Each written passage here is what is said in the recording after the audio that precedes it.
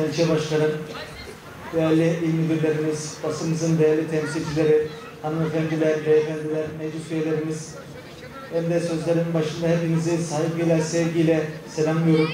Bugün burada tanıtımını yapacağımız yeni etap Yunus Emre kentsel dönüşüm çalışmalarımıza hoş geldiniz, şerefler verdiniz diyorum.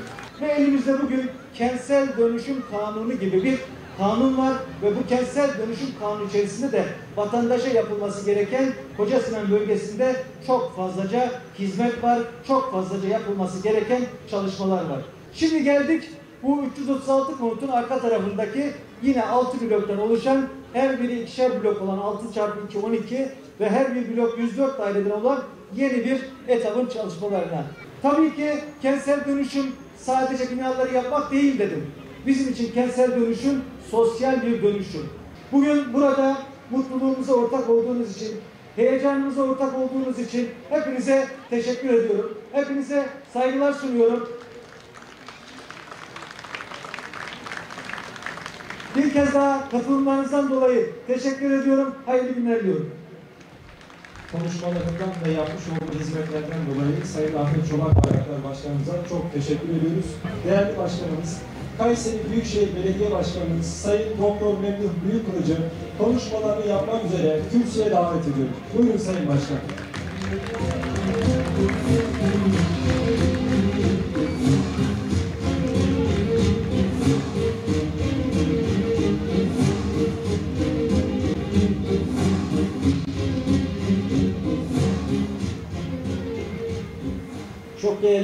Başkan Yardımcımız, kıymetli bakanım, çok değerli milletvekillerimiz, değerli il başkanım, il yönetimindeki başkan yardımcılarımız, ilçe başkanlarımız, değerli il müdürlerimiz, basınımızın kıymetli mensupları, mahallemizin güzel insanları, hanımefendiler, beyefendiler, sevgili yavrularımız, değerli basınımız. Öncelikle bu güzel sonbaharın ben pastırma sıcağı diyeceğim ama Sayın Bakanım diyor ki pastırma sıcağı Kasım'da olur başkanım diyor. Eh, Ekim'i de güzel, Kasım'ı da güzel. Kayserimizin her mevsimi ayrı bir güzel. Bu güzel sonbahar mevsiminde pırıl pırıl bir ortamda içlerimizin ısındığı, ümitlerin yeşerdiği ve tabii ki kentsel dönüşümle ilgili çok değerli Koca Sinan Belediye Başkanımızın başlattığı e, güzel bir çalışmanın elbette ki hem e, temellerini atmaya hem burada bilgilendirme yönünde e, çalışmalara eşlik ediyoruz.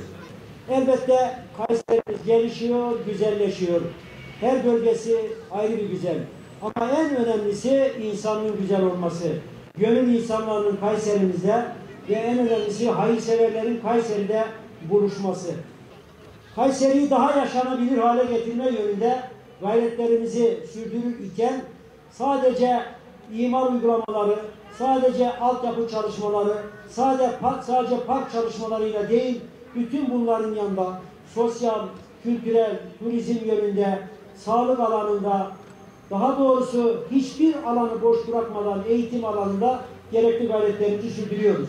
Malumunuz Kayserimiz elbette ki bir endüstri ve ticaret merkezi olarak bilinirken beş tane üniversitesiyle de eğitimin merkezi olarak çok şükür bilinmekte. Buradan tekrar kamuoyuyla paylaşıyoruz. Olayın istismarını yapanlara da selam olsun diyoruz. Şu anda Kayserimizde yurt sorunuyla ilgili herhangi bir konu yok. Böyle bir konu söz konusu değil. Var ise buyursunlar gelsinler başımızın tacı. Yerimizde hazır. Onlara imkanlarımızda hazır. Hiçbir zaman bu konuda tereddüdümüz söz konusu değil. Sadece merkezde değil Sayın Bakanım. Taşra ilçelerimize dahil hepsiyle ilgili oradaki meslek yüksek okullarımızda okuyan yavrularımızın yurt konusundaki İskan konusundaki konularıyla birebir ilgileniyor. Değerli rektörlerimizle, KYK'mızın değerli ekipleriyle işbirliği halinde çalışmalarımızı sürdürüyoruz. Ben bu arada bu konuyu paylaşmış iken Gençlik Spor Bakanımıza, bu konuda da desteklerini esirgemeyen Haseki Bakanımıza özellikle teşekkür ederken 5000 kişilik yurt çalışmamızın da devam ettiğini, 2000 kişiliğin yapılma aşamasında olduğunu, 3000 kişiliğin planlandığını, yakın zamanda inşallah ihalesinin yapılacağını da buradan paylaşmak istiyorum. Kayseri genç dostu bir şehir. Kayseri öğrenci dostu bir şehir. Kayseri kimsesizlerin kimsesi olan anlayış ile gönül belediyeciliğinin adeta zirvede uygulandığı bir şekil şehir. Bütün bunlarla birlikte elbette ki kentsel dönüşümle ilgili o iki sihirli kelimeyle ilgili çalışmalarımızda devam ettiriyoruz. Devam ettiriyoruz çünkü biz yeni başlamadık.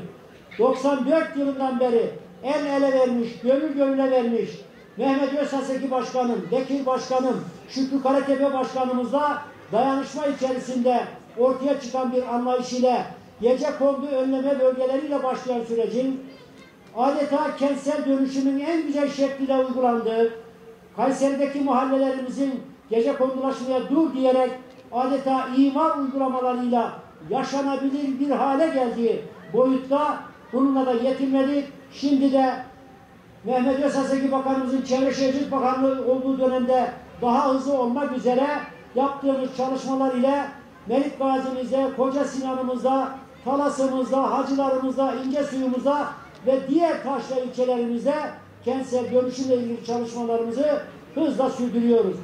AK Parti Genel Başkan Yardımcımız Sayın Mehmet Özaseki hitaplarını gerçekleştirmek üzere kürsüyü teşriflerini arz eder.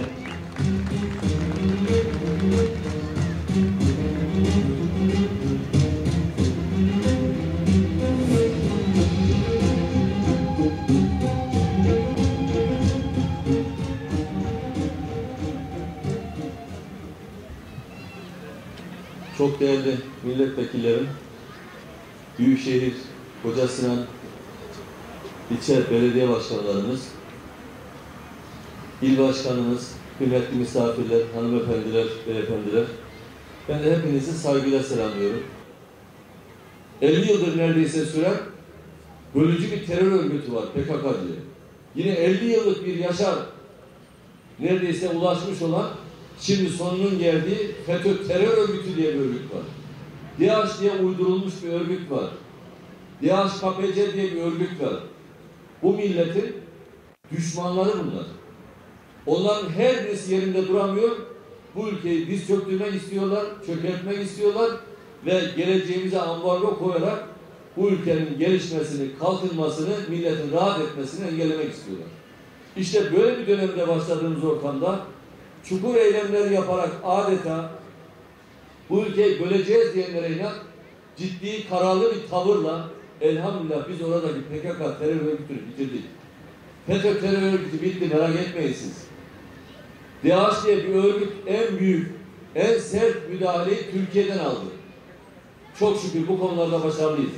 Ama bir konu var ki konumuzla ilgilendirdiği için söylüyorum.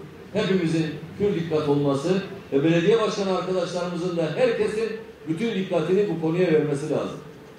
Terörle mücadele devletin işi. Devlet yapıyor hakkıyla. Elhamdülillah böyle bir örgüt bitti. Türkiye'de huzur var. Topraklarımız içerisinde artık terör örgütü dikkat ederseniz eylem yapamıyor. Kızılay'da, Beşiktaş'ta, Kayseri'de, Erciyes Üniversitesi önünde bomba patlatamıyorlar. O namussuzları toprağa gömdük, bir daha da çıkamayacaklar inşallah. Orası ayrı bir şey. Ama depremle ilgili belediyelerimizin vatandaşlarımızla bir araya gelerek bir anlayış içerisinde Kayseri'de olduğu gibi tüm Türkiye'de bir an önce kentsel dönüşme adım atmaları lazım. Atılmazsa Allah korusun o depreme hazırlık yapmamış oluruz. Biz depreme uygun hareket etmeliyiz. Cenab-ı Hakk'ın koyduğu kurallar var. Bu kurallar işliyor. Biz bunu anlayıp buna uygun davranmalıyız. Bu ülke deprem ülkesi. Deprem kuşağı üzerinde. Evet Kayseri biraz daha emin vaziyette. Üçüncü derecede. Yani Kuzey Anadolu fay hattı üzerinde değil Marmara'daki gibi bir deprem bizi beklemiyor. Acil bir durum yok. Yediden fazla şiddette bu deprem burada hiç olmamış bu topraklarda. En son olan 150-170 sene kadar önce 6'ya yakın bir deprem. Ama yine de biz evlerimizi en şiddetli deprem olacak şekilde hazırlamalıyız. Tüm kamu kuruluşları bu şehirde güzel işler olsun diye gayret ediyorlar. Bu bir uyumdur. Bu uyumun neticesinde de Allah bereket veriyor. Eğer ayrı olursak, birbirimizi yersek, kavga edersek, milletvekili teşkilatla küs, o belediye başkanıyla konuşmuyor, o onun başarısını kıskanıyor, o ona hasetlik ediyor. Allah korusun böyle bir şey başlarsa Allah rahmetini oradan çeker. Bereket nazarını oradan çeker. O yüzden de ki Kayserimize çok şükür yıllardır bir bereket var. Cenab-ı Hak da rahmet nazarlarını esirgemiyor. Bundan dolayı da emeği geçen tüm arkadaşlarımıza ben teşekkür ediyorum. Allah razı olsun diyorum.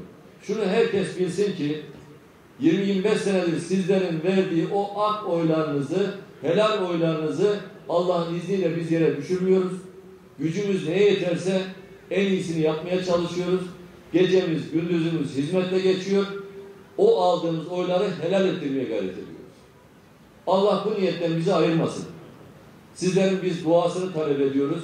Cenab-ı Hak güzel işler yapmayı, sonunda da vedalaşırken helalleşerek Allah'a ısmarladık demeyi bizlere nasip etsin diye de dua ediyoruz. Yeniden başkanıma teşekkür ediyorum. Allah razı olsun diyorum. Ellerine emeklerine sağlık. En zor işe talip oluyor. Biz ona yardımcıyız inşallah. Şimdi biraz sonra da başlayıp Hoca Sinan'la ilgili tüm Ankara'daki genel müdürler, bakanları telefonla da aramaya devam edeceğiz takıldığı yerlerde inşallah oradan da sonuç alırız. Hepinizi saygıyla selamlıyorum. Ente semi'ul alim. Ve tub aleyna ya Mevlana inneke entet tevvabur rahim. Ve ehdini ve ehdina ve fitne ilel hak ve ila tariki mustakim ve afanna ya kerim.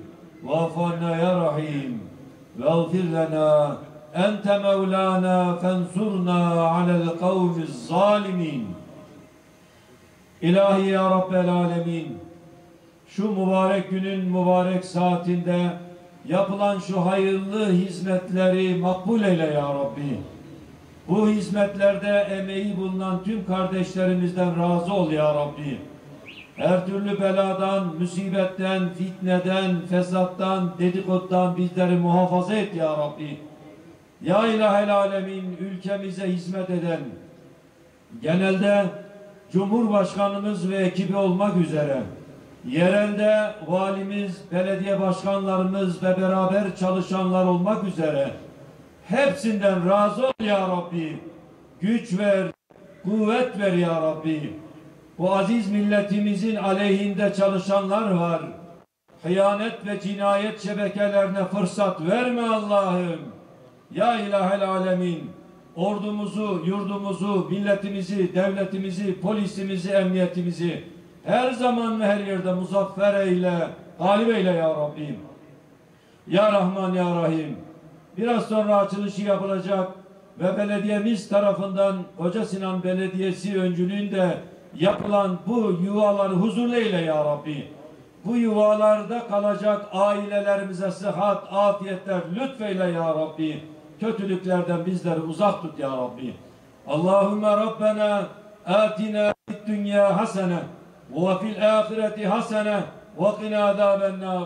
Rabbena ufir li ve li valideyye ve lil müminine yevme yakumul hisab. Bi rahmetke ya erhamer rahimin. Velhamdülillahi Rabbil alemin. El Fatiha.